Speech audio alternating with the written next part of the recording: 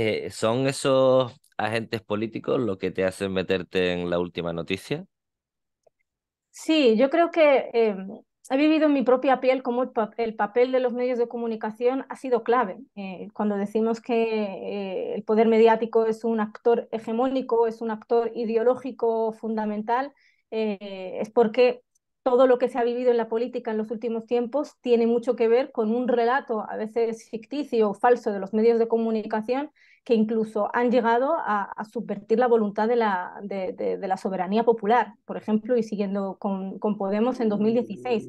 En 2016, eh, bueno, venía Podemos de haber ganado las elecciones eh, a finales de 2015 con un resultado histórico y el papel de los medios de comunicación y el lawfare hicieron de alguna manera que eh, Podemos no obtuviera el, el, el, el resultado que, que, se esperaba y hasta los propios actores principales de esa película, como Pedro Sánchez, tuvo que salir diciendo en aquel famoso Salvados que los poderes fácticos de nuestro país le estaban impidiendo que llegase a un acuerdo con, con Podemos. ¿Alguien te ha dicho categóricamente con Podemos de entrada no?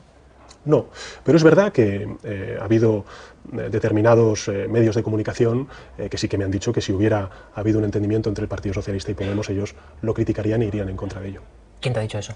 Pues no han sido medios de comunicación conservadores, sino medios de comunicación supuestamente progresistas. Yo necesito que me pongas nombres. El país ha sido uno de ellos. ¿Tú te has reunido con Juan Luis Tebrián?